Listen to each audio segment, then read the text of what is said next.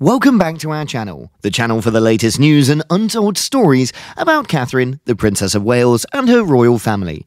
Today we bring you news. Catherine and the royal women steal the spotlight in the best tiara moment on the royal engagement as the fashion admirers drop their jaws to their glamour.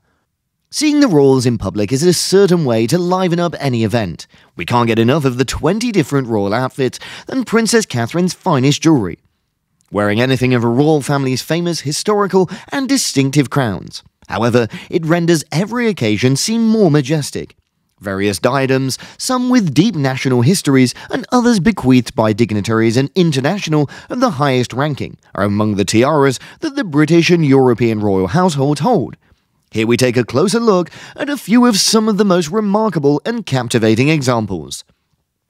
The Tiara of Ireland and the Girls of Great Britain the British and Irish girls for an unforgettable supper honouring the coronation of King Charles III and her own needs.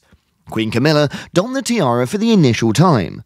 The crown is among some of the most iconic in the royal vaults, and that is secure, so it has to be anticipated.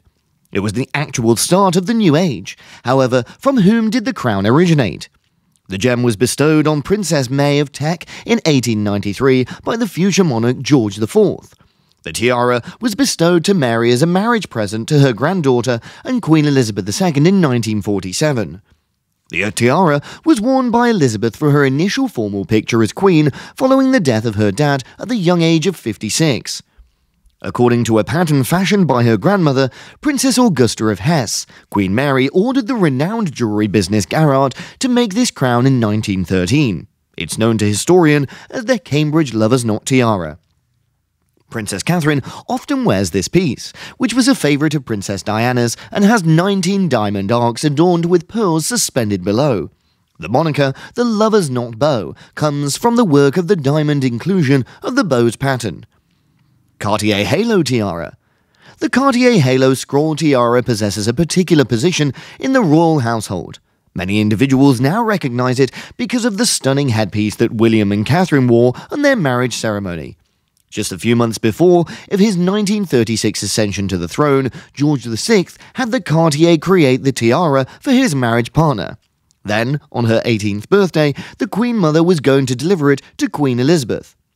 There were 149 petite diamonds and 739 brilliant cut diamonds in it. The Grand Duchess Vladimir Tiara formal photos, and significant encounters with prominent figures such as President Barack Obama, as well as the Pope, made use of the Grand Duchess Vladimir tiara, which had been reported as a favorite of the Queen who had passed away. Duchess Vladimir, a distant relative of the final Russian Romanov Tsar, is said for having possessed it. The tiara's origins are murky, but it ended up in Queen Mary's hands. She enhanced it by setting it alongside 15 emeralds that had previously belonged to her mother, Mary Adelaide, and an arrangement that could swap them out for the initial pearls. Queen Elizabeth II ordered it restored in 1988 with a new framing this time around. Additionally, there aren't numerous images of the deceased queen donning this tiara, the Nizam of Hyderabad, because is now no longer in existence.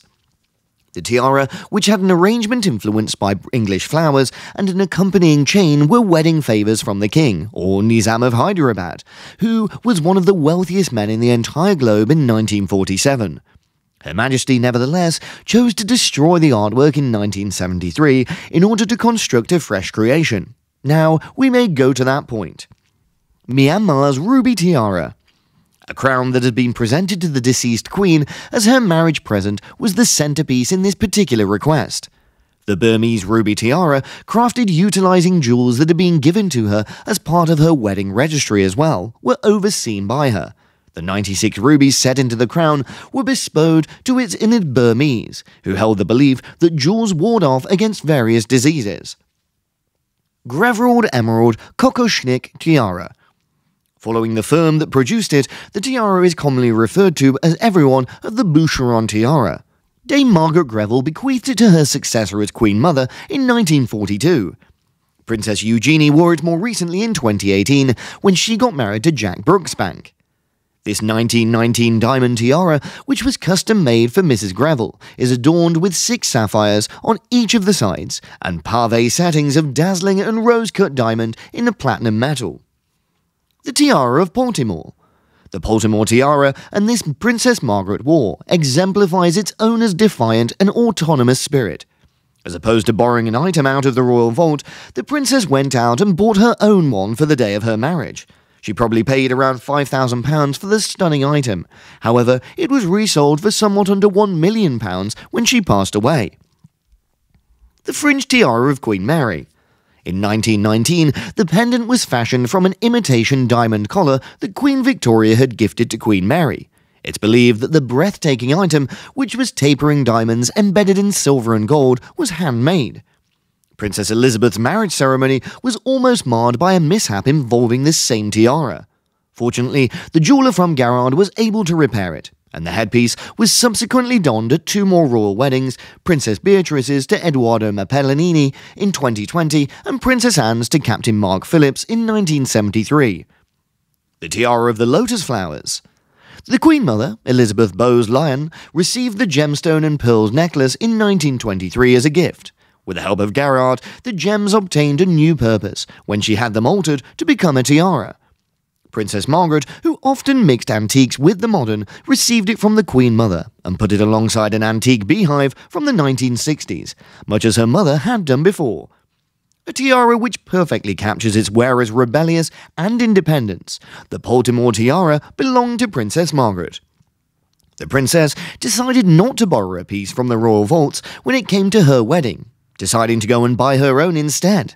It's thought that she picked up this dazzling piece for around £5,000, but it would go on to resell for just under £1 million after her death. Queen Mary's fringe tiara. It was originally made for Queen Mary in 1919 from a diamond necklace given by Queen Victoria. The stunning piece features tapered diamonds and is understood to have been set in gold and silver. It was also the very tiara which nearly led to the wedding day disaster for the then Princess Elizabeth. Luckily, the jeweller from Garrard could fix it, and the tiara was worn at other royal weddings since, including Princess Anne's 1973 wedding to Captain Mark Phillips and Princess Beatrice's 2020 wedding to Edoardo Mapelli. The Lotus Flower Tiara. Originally given to Elizabeth Bowes Lyon, the Queen Mother in 1923 as a diamond and pearl necklace, the jewels found a second life after she had it transformed into a tiara by Garrard.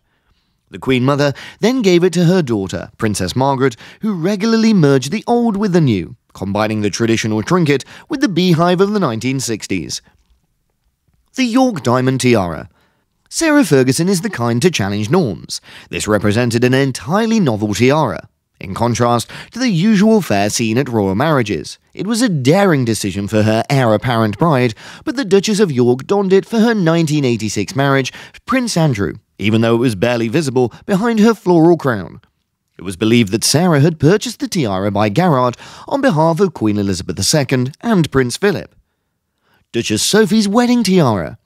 Sophie would have loved this understated tiara, simple, fragile because of the unobtrusiveness of it. The headgear, which the Duchess of Cambridge currently wears as her marriage present from Prince Edward, does not come with an official designation like conventional tiaras. It's said that it may have been crafted from a different broken necklace or tiara. Queen Letizia's Fleur de Lis tiara. Anyone can be a showstopper, not just the British royal family. Princess Victoria Eugenie of Battenberg, who's said to have been born in Britain, was married to King Alfonso XIII in 1906, and as a wedding present, she received several jewels, including this tiara. The Spanish royal jeweler Ansorena has been responsible for its creation since 1860. It's reported to have 450 diamonds plus 10 Australian pearls surrounded by platinum. The six button tiara, Sweden. Diamond petals constitute the official name for the individual fashioners that comprise this tiara. Exquisite rosettes are the crown's crowning glory. King Carl XIV Johan, whose birth name had been Jean Baptiste Bernadotte, wore them upon the day of his coronation in 1818. His influence is still deeply ingrained in the Swedish royal family, since he served as the initial monarch of the Bernadotte line. The Dutch Queen Maxima proudly wears the Stuart tiara, a breathtaking crown with its roots in England, which is admired throughout Europe. The festoon tiara, as with numerous of the royal family's cherished possessions, the Princess Royal's own tiara possesses an unusual history. Princess Anne's first partner, Mark Phillips, presented her with the festoon tiara in 1973. The very same year, she tied the knot. The Hong Kong company Worldwide Transportation Group presented it to the royal princess as a token of their gratitude for her role in the christening of one of their vessels. Anne has donned the tiara on a number of occasions, especially at official dinners, even though it does not seem to have the same illustrious background. In 2008, she gave her daughter in law Autumn Kelly, who was married to Peter Phillips, the tiara, which made it much more meaningful. Thank you for viewing today's video. Which tiara moment with the royal women do you find the most memorable? Farewell for the time being, and please let us know of your ideas.